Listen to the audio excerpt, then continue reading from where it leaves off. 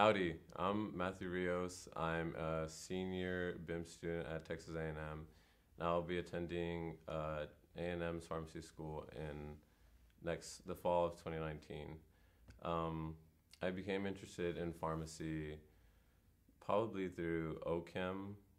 Um, I know I like I found a lot of the drug interactions and how interacts with our body to be really interesting, and that's what kind of like uh, pulled me towards uh, pharmacy. And I've always been interested in like the math and science aspect of it, and just other stuff like how you see your family. You know, you see like your family or friends like taking medication, and you know, you wish you could like.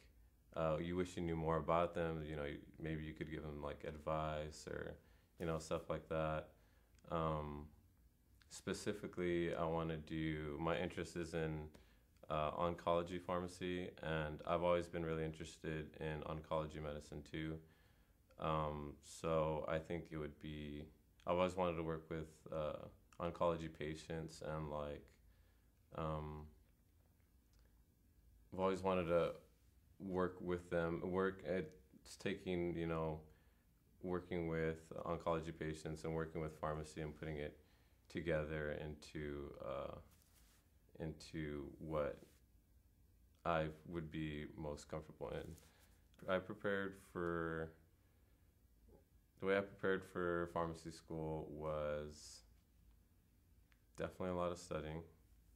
Um, let's see.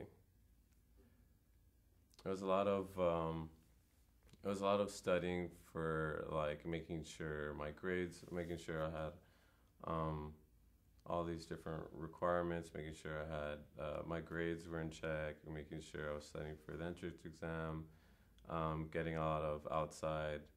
Uh, the most important part, getting a lot of shadowing in, making sure, you know, that's what I wanted to do, working in different, uh, shadowing in different aspects, because, you know, there's retail, there's, um, there's hospital pharmacy, there's different specialties. So, you know, I wanted to make sure wherever I um, ended up was, you know, that's what exactly what I wanted to do. So, going back to the studying, um, some some of the effective ways that I managed my time and I studied was I found I was most efficient. You know, this didn't always happen, but I was most most efficient when I went to bed early, and you know, like I got up, I um, I did my did my studying throughout the day and you know didn't stress myself out by like studying at night or anything like that. And i'd say the best way is to probably make um, make a like a weekly calendar a weekly schedule maybe like on sun start on sunday and plan out your week or if you know you're not too sure because you're like um, well, you don't know what can happen throughout the week. So what I usually do is in the mornings I'll start. I'll make a schedule of that day and say, okay, I want to do this and this by two o'clock and this and this by six o'clock, and kind of like break up your day. I'd say is probably the best. What works best for me. Balancing extracurriculars is uh, is something that's all, like also important, and it's also an important skill. Um, in college. Uh, it ties into managing your time and um, setting priorities to what what you what you want to focus on, and um, so for me, I know like I I like hanging out with my friends a lot, but I also liked my GPA a lot. So, you know, you kind of have to find there's a fine balance between uh, work and play.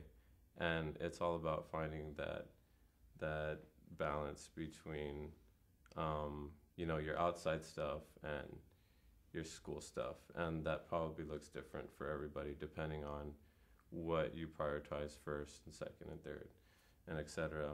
Um, advice that I would give for high school or college.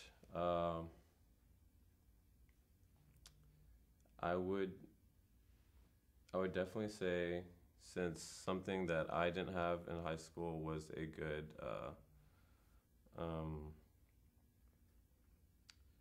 didn't have a lot of preparation for college, but so I something that I definitely say for high school is uh, to to mentally prepare yourself for college and pick up good study habits early because that'll it's definitely easier to start off strong than it is to start off weak and then try to pick yourself back up. That's something I learned the hard way, I want to say, but I mean in my case it ended up turning out okay for me, but you know, um, definitely something or definitely definitely something to uh, pick up early, and um,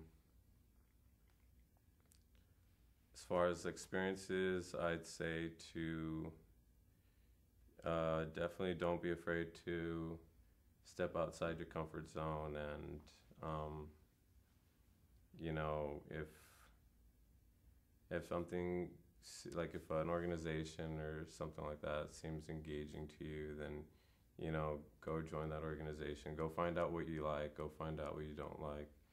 Um, at the end of the day just do whatever makes you happy is probably the best advice that i'd give because um, college is important but you don't want to waste like some of the you don't want to waste some of the best years of your life by always constantly working and burn yourself out